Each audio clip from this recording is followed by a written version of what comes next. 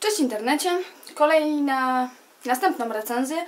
Tym razem są to Ciepłe ciała Isaaca Mariona i część z Was e, już wyczekuje tej recenzji, e, głównie po to, żeby się pośmiać. E, Widzieliście, jak czytam tę książkę na Goodreads, więc przyszła pora, żeby, żebym podzieliła się z Wami swoją opinią. Przede wszystkim, dlaczego w ogóle zdecydowałam się przeczytać tę książkę. Mm, Widziałam recenzję tej książki na YouTubie. E, Jedna z dziewczyn, które bardzo sobie cenię, Priscilla z The Readables, bardzo chwaliła tę książkę. Mówiła o niej w samych superlatywach, bardzo się nią zachwycała i stwierdziłam, no dlaczego nie, skoro jej się podobała, to w takim razie mi zapewne też się spodoba. I nie mogłam rozczarować się bardziej. Krótko o czym jest ta książka. Jest to książka postapokaliptyczna. E, Świat nawiedziła swego rodzaju katastrofa, która sprowadziła zarazę na ludzkość i sprawiła, że ludzie zaczęli powstawać z martwych. Uznałam, że będzie ciekawie przeczytać coś e, o zombie i sięgnęłam po tę książkę, kiedy tylko zobaczyłam ją w bibliotece. I cieszę się, że ją wypożyczyłam, bo gdybym ją kupiła, to pewnie próbowałabym jej się pozbyć. Głównym bohaterem Ciepłych Ciał jest R, który jest zombie. Mm, Żyje swoim nieumarłym życiem, mieszka na lotnisku i razem z innymi zombie spędza dnie na nic nie robieniu. Czasami wybiera się na pobliskie przedmieścia, żeby zapolować na ludzi i zjadać ich mózgi. Tu ciekawą koncepcją jest to, co dzieje się, kiedy zombie zjada ludzki mózg.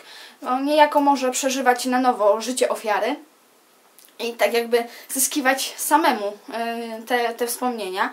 To jest dosyć ciekawe faktycznie. Pewnego dnia R zabija pewnego młodzieńca imieniem Perry i zjada jego mózg i od tego czasu coś zaczyna się zmieniać. Nie tylko e, w samym R, ale też w jego życiu.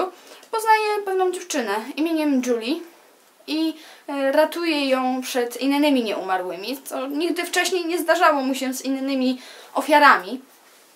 I w tym momencie tak naprawdę książka się rozpoczyna. Narracja Ciepłych Ciał, jak zapewne domyśliliście się już po tym, że jest to książka z gatunku Young Adults, jest w pierwszej osobie. Ale y, jest tu pewien powiew świeżości, bo nie jest prowadzona w czasie przeszłym, a w czasie teraźniejszym. Do tej pory e, nieczęsto spotykałam e, ten rodzaj narracji w powieściach, zwłaszcza czas teraźniejszy. Częściej widywałam go w fanfiction, gdzie młodzi twórcy chcieli zaciekawić czytelników, pobawić się formą, być oryginalnymi. Ciekawie było czytać e, o przeżyciach R i jego wewnętrznych przemyśleniach. E, Mogłam się przekonać, że tutaj zombie nie są bezmózgimi e, stworzeniami, że mają myśli, mają uczucia i mają pragnienia, których z jakiegoś powodu nie potrafią, nie mogą zrealizować, że tak naprawdę nie chcą tkwić w stanie, w którym się znajdują. Jest dosyć wygadany i dość cyniczny i miałam wrażenie, że trochę zbyt inteligentny jak na zombie, ale z drugiej strony, skoro to jest jego niejako wewnętrzny monolog i zombie mają myśli, mają uczucia, to faktycznie być może e, byłabym w stanie zaakceptować e, takiego bohatera. Niestety nie potrafiłam e, utożsamić się ani przywiązać się do żadnego z tych bohaterów. Wydawali mi się bezbarwni, szarzy i nieco beznadziejni. Tacy odzwykli bohaterowie, nie obchodziły mnie zbytnio ich losy, ani nie wzbudzali mojej niechęci, ani nie wzbudzali mojej sympatii.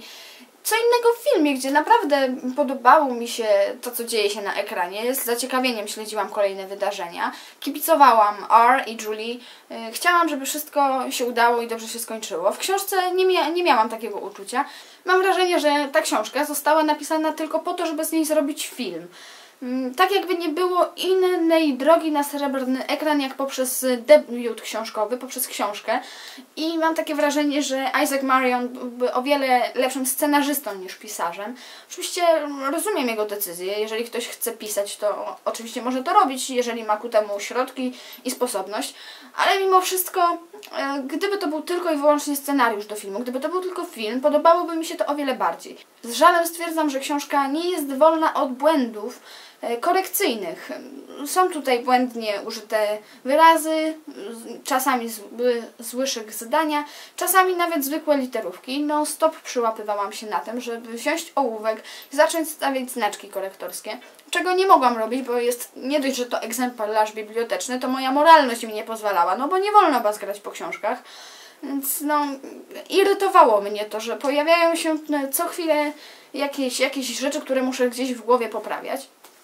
Skład też nie zachwyca, nie jest zły, ale nie jest też jakoś mega dobry, bez fajerwerków po prostu, od zwykła książka. Jestem bardzo rozczarowana i spodziewałam się czegoś o wiele lepszego. Dałam jej trzy gwiazdki na pięć. Powinnam była obniżyć nieco swoje oczekiwania co do tej książki. Powinnam była się spodziewać po prostu od kolejnego czytadła, które jest dobre do pociągu, dobre do autobusu, tramwaju, żeby po prostu oderwać się na chwilę od rzeczywistości między jednym przystankiem a drugim. Dajcie znać, czy czytaliście tę książkę, ale podejrzewam, że tego nie zrobiliście.